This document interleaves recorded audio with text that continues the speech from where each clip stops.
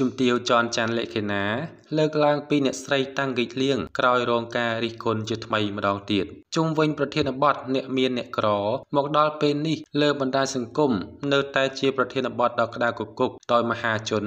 អ្នកលេងបណ្ដាញសង្គមបន្តផ្ទុះការវែកញែកខ្លាំងដដែលជាពិសេសថ្មីថ្មីនេះបន្ទាប់ពីឃើញវីដេអូកាត់តមួយទៀតបានបង្ហោះរឹតតែមានការចែករំលែកពាសពេញបណ្ដាញសង្គមនិងមានការរិះគន់កាន់តែខ្លាំងឡើងខ្លាំងឡើងពីមួយថ្ងៃទៅមួយថ្ងៃយ៉ាងណាមិញក្រឡេកទៅមើលបណ្ដាញសង្គមរបស់ជំទាវចនច័ន្ទលក្ខិណា កាលពីប៉ុន្មានថ្ងៃមុនជំទាវក៏បានបង្ហោះនិយាយជុំវិញរឿងនេះម្ដងរួចមកហើយចំពោះអ្នកស្រីតាំងហ្គិចលៀងដោយជំទាវ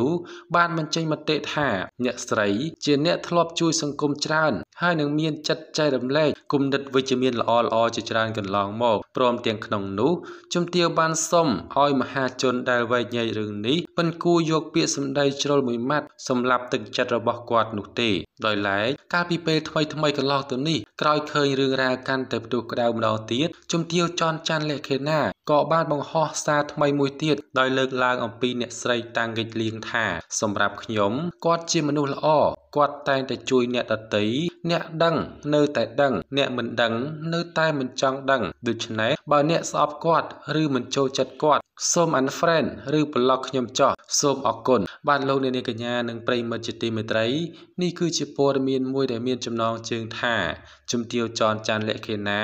លើកឡើងពីអ្នកស្រីតាំងហ្គិចលៀងក្រោយរងការរិះគន់ម្ដងទៀតបាទសូមអរគុណពុកម៉ែបងប្អូនទាំងអស់គ្នាសម្រាប់ការតាមដានទស្សនាវីដេអូមួយនេះបាទសម្រាប់ពេលនេះដែរខ្ញុំបាទសូមអរគុណនិងសូមគោរពលា